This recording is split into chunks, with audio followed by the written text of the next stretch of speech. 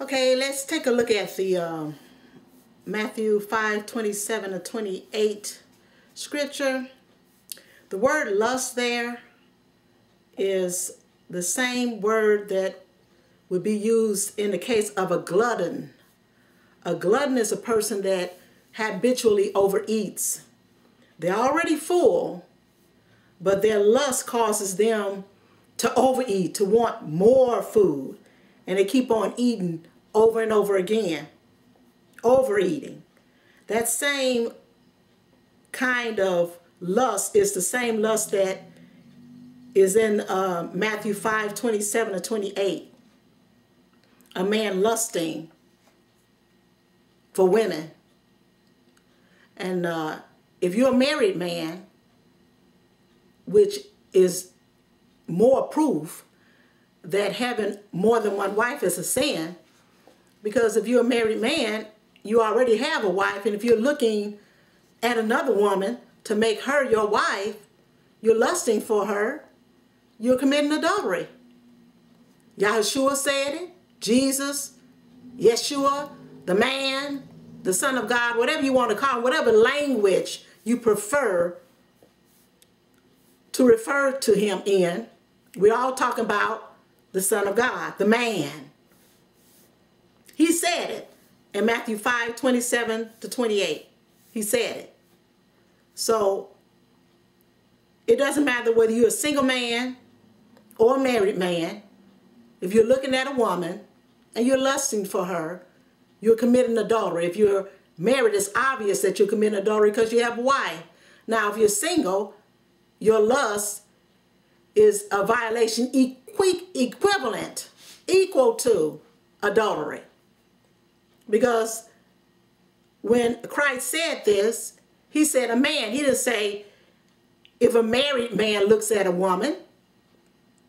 He said if a man, that's single men and married men, any man that looks at any woman, and he didn't say a married woman, he said a woman. So if any man looks at any woman and lusts after her, in his heart, he's already committed adultery. Whether he's single or not, he's already committed adultery. And that's coming straight from the man, the Son of God. So you can either do what God says or you can create your own laws. I prefer to do what God says. And if you're a godly man or a godly woman, you would prefer to do what God says too. So it's really impossible for a man to have more than one wife without, without being a violation of this Matthew 5, 27 to 28. It's really impossible. And this is one of the scriptures that proves that polygamy is a sin. And another thing about polygamy, we'll take another viewpoint on it. Just common everyday sense. I remember years ago, maybe 10 years ago, I was watching the news and they were talking about the sexual revolution because if you want to go back 50 years ago, most women did not have sex before they were married. And if they did, it was a, a disgrace. They were looked down upon. If they did, they hid it and didn't want nobody to know about it. But uh, I remember watching the news, I don't know, it may have been 10 years ago. And they were referring to the sexual revolution and how so many women were having sex out of marriage, out, out of marriage. And as a result of that, so many men were taking advantage of the situation and they were having sex with so many different women.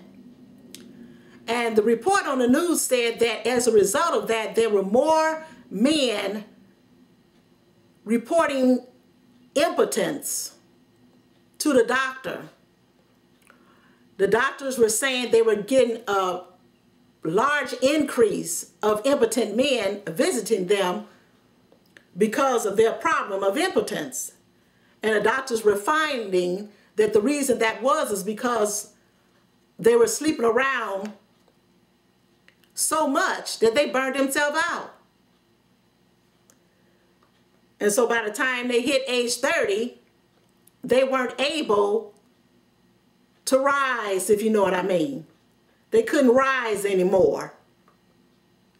Frankly, they couldn't hold an erection. Couldn't get an erection. And uh, this was a result of promiscuity. Now, taking that into consideration, and this is medical news now. Now, you take that into consideration, and you look at the lifestyle of multiple wives.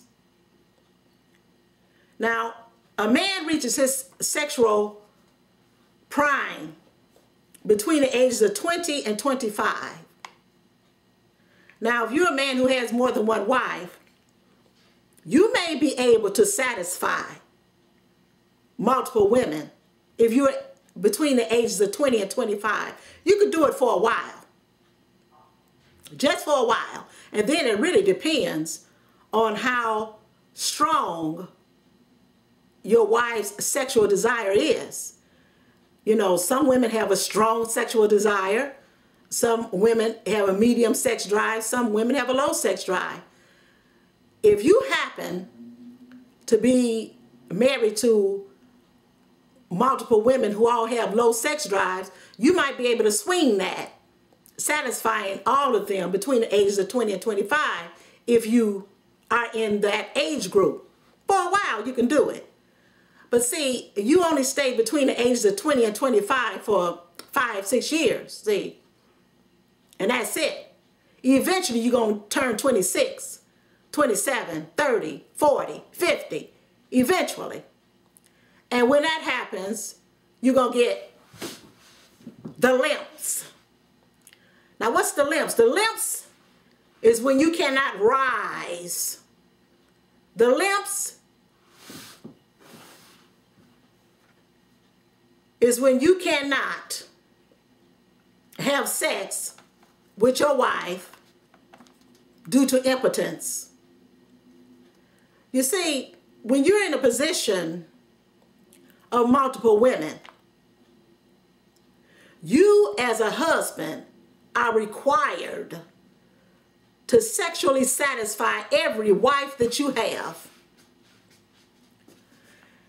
And when you look at the situation, Say you have five wives. That's one to five. That's an imbalanced situation. Unbalanced. You got five holes to one that has to divide himself up five ways. So what happens is that you get you got one man getting five whole women and you got five women getting one fifth of a man. Now, from a woman's point of view, if you're a whole woman, you want a whole man. And if a man is going to give you one-fifth of himself, let's face it, you're going to be unfulfilled. That's just common sense. It's logic, mathematical logic. You're going to be unfulfilled because you're giving up a whole for one-fifth. And even if you're just dealing with two women, you're a whole woman and you're getting half of a man in return. You're going to be unfulfilled. You'll be half filled, but that leaves a half that's unfulfilled. You see what I mean? Now, from a man's point of view, if you got more than one wife, you could do one or two things. Either you could be sensible and say, okay, I know I'm human, I can only do so much, I'm going to do the best I can to satisfy these women, and then I'm going to stop. Because I ain't going to burn myself out. You can take that attitude, and if you do, it's a sensible attitude to take, but at the same time, at least one of your wives are going to be unfulfilled. At least one. Or you could take the attitude, no, I'm going to fulfill both of them. I'm going to fulfill both of them. I'm going to fulfill, I'm going to fulfill all five of them. However many you